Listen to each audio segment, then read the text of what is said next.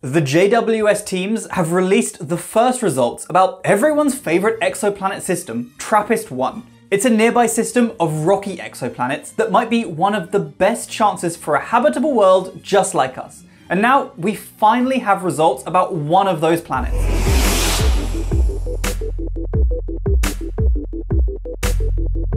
TRAPPIST-1 is the name of a small star about 40 light years from Earth, and in 2017, astronomers announced the discovery of seven rocky planets orbiting that star. These planets are named TRAPPIST-1b, that's the closest one to the star, all the way out to TRAPPIST-1h, that's the furthest one from the star.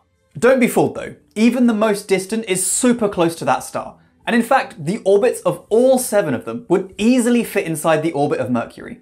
The reason these planets are still interesting and probably aren't just flaming balls of death is that the star they orbit is a lot smaller and a lot cooler than our sun. So in fact, several of these planets receive similar amounts of heat, energy and radiation than the Earth does from our sun. The new information we have is all to do with TRAPPIST-1b, the closest planet to the star. Despite the fact that this planet is over a thousand times fainter than the Sun, the incredible resolution of JWST's mid-infrared instrument has allowed us to measure the surface temperature of the planet for the first time. Based on the infrared emission from the planet, measured by the mid-infrared instrument MIRI, we now know the planet's day side has a temperature of around 230 degrees Celsius. That's 446 degrees Fahrenheit or 500 Kelvin. In turn, this tells us that it's incredibly unlikely that the planet has any significant atmosphere at all, and is likely all just rock. Previously, telescopes like Hubble and Spitzer had found no evidence of sort of a big puffy atmosphere, but a denser one closer to the planet was still possible until now. Before JWST, no telescope had the sensitivity to measure such dim infrared light, but now we can see no evidence for any atmosphere at all. Personally, I think it's really difficult to properly understand how impressive this measurement is. At least I really struggle. Sure, it might suggest that TRAPPIST-1b isn't a good candidate for life, but it's also outside the habitable zone of the star, so we pretty much knew that already. But this new measurement does tell us that JWST is poised to see some very impressive and exciting things when we look at data from the other planets. A few of which are inside the habitable zone, so are much better candidates anyway. This is the first detection of any form of light emitted by an exoplanet that's as small and cool as the rocky planets in our own solar system. Life needs an atmosphere, and now we know we have the capabilities to probe for these atmospheres in the TRAPPIST-1 system. And of course, we can do it for any similar system as well. To find life, first we've got to find an atmosphere. TRAPPIST-1b, the planet in question here, orbits its star at less than one hundredth of the distance that Earth orbits the Sun, and it receives about four times the energy that Earth does. So, too hot and radiationy for life, but still a window into the conditions of the TRAPPIST system. There are many, many, up to 10 times more stars like TRAPPIST-1 in the Milky Way than stars like the Sun.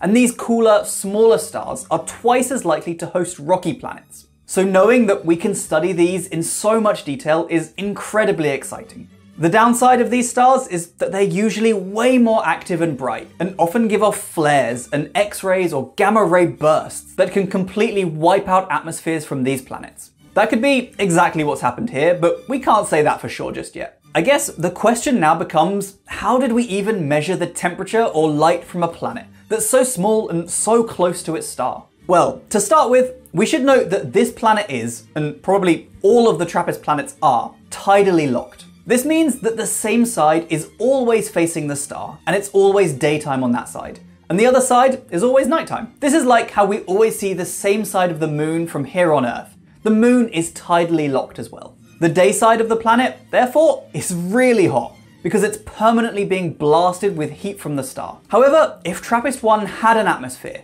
then this day side would actually be cooler than it was if it's just exposed rock. This is because the atmosphere would swirl up and circulate heat across the planet, doing a little bit to equilibrate the temperature. So if there's an atmosphere, the day side would be cooler than if there's no atmosphere. Got it. Knowing this, we take our best theories and models. We input the size of the planet and the star, the distances involved, and the heat coming from that star, and we make predictions for both cases, with and without an atmosphere.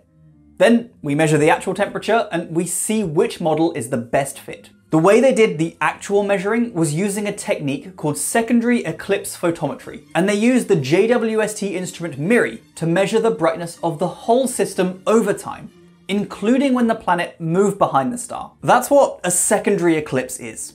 A normal primary eclipse would be the planet moving between the star and the telescope. So if the camera and you are looking at a star, let's say represented by this ball, a primary eclipse would be when this uh, planet moves between you and the star. And a secondary eclipse would be when the planet moves behind the star.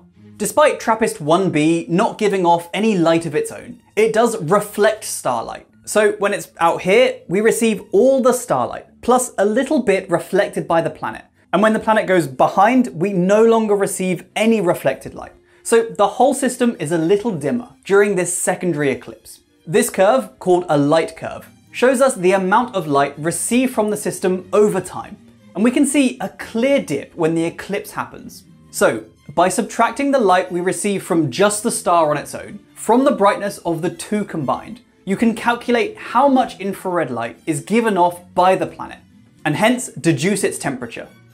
This in itself is an incredible achievement, since the star is a thousand times brighter than the planet the change in brightness during the eclipse is less than 0.1%. Plus, there's the added complication of other planets orbiting the star too.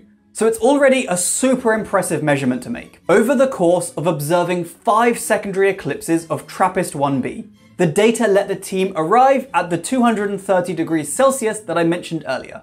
And hence, the most likely conclusion is no atmosphere in this case. You can see here a comparison of the models for TRAPPIST-1b with and without an atmosphere. And the real data is incredibly consistent with the no atmosphere model, and hence that's what we conclude. It's likely bare rock and no atmosphere to circulate the heat. And there were also no signs of any carbon dioxide, which apparently would also have been clear from these measurements. You can also see the temperatures of Earth and Mercury here too, just for comparison. You can see it's a lot hotter than Earth is. Follow-up additional secondary eclipse observations are currently in progress, and the team also hopes to observe some primary eclipses too, to see a full light curve of the orbits. No atmosphere here doesn't rule out an atmosphere or habitable conditions on the other TRAPPIST-1 planets. And this one was never the most likely anyway to have any of those. We'll just have to wait to hear more about the system and the other better candidates for atmospheres, liquid water, and habitability. To be honest, it's probably a good sign that we only have this one null result at the moment. Since the other planets have been observed already too, if anything exciting was seen, then I bet the teams would want to check it a lot and be very thorough. And that might take longer.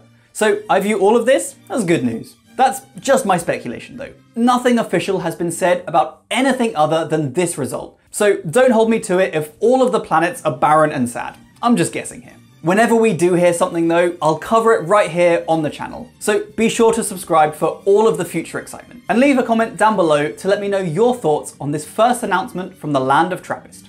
Thanks for watching and I hope you had fun. Until next time, stay safe team. I'll see you soon. Bye!